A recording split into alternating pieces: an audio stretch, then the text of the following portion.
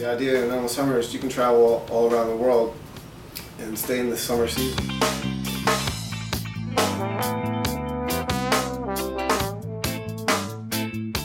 Once I saw like what a what a great tattoo artist lifestyle was, I wanted to be one of those kind of people.